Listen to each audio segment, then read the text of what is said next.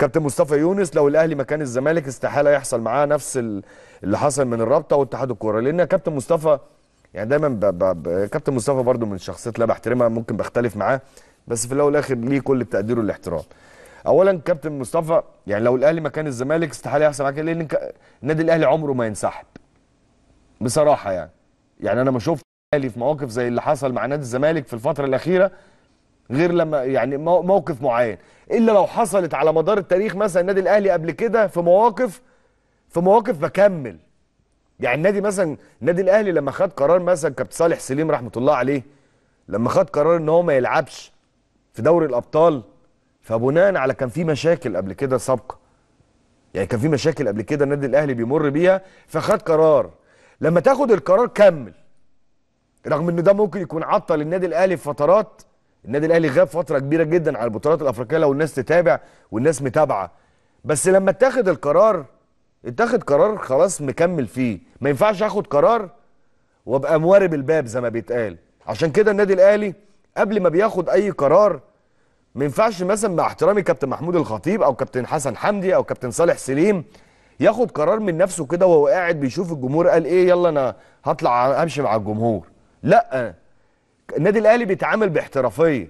النادي الأهلي بيتعامل بأسس وبمعايير وبدراسة مع في مستشارين وفي مجلس إدارة وفي أعضاء مجلس إدارة وفي جهاز فني وفي مدير كورة وفي لجنة. في يعني في ناس كتيرة. في ناس كتيرة شغالة لصالح النادي الأهلي. عشان كده النادي الأهلي عمره ما هيحصل معاه كده لأن النادي الأهلي قبل ما بياخد قرار بيبقى مدروس.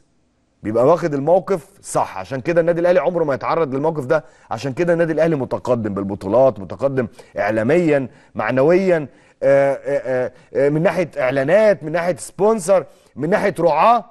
عشان النادي الأهلي عنده قاعدة جماهيرية وعنده قاعدة من الناحية المادية هو بيحافظ عليها. ما هو برضه النادي الأهلي بيحافظ على الشركات اللي معاه. النادي الأهلي بيحافظ ع... بي- بيحافظ على لعيبته. النادي الاهلي بيحافظ على الجهاز الفني. النادي الاهلي بيحافظ على على على المنظومة اللي موجودة اللي في الرياضة نفسها أو في النادي الاهلي.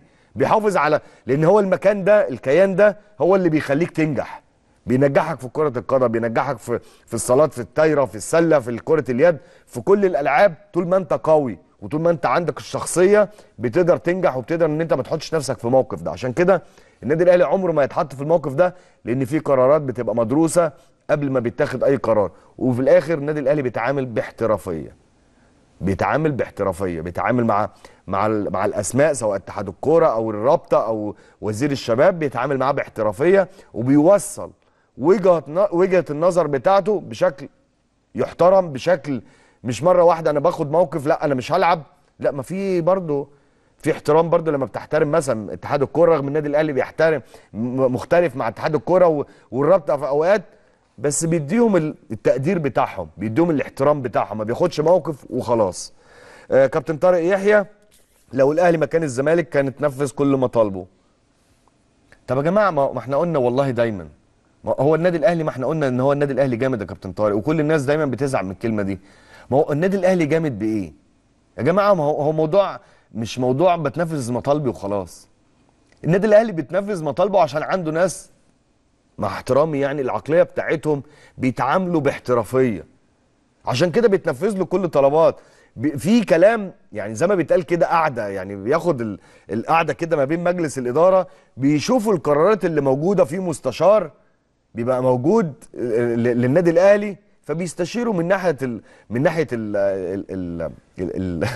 زي ما بيتقال اللائحة من ناحية العواقب اللي هتحصل على النادي الأهلي. فعشان كده النادي الأهلي بيتقال جامد ما هو جامد عشان في منظومة شغالة. فعشان كده عمر النادي الأهلي ما يتحط في المواقف ده ولما بيتنفذ طلباته فهو بيتنفذ طلباته بناء على مواقف حصلت.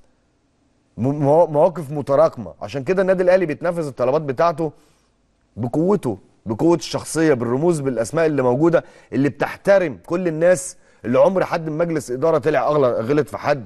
ولا غلط في جمهور ولا غلط مثلا في منظومة نادي الزمالك ولا غلط في مجلس إدارة نادي الزمالك ولا غلط حتى في الحتة الإعلامية مثلا نادي الزمالك.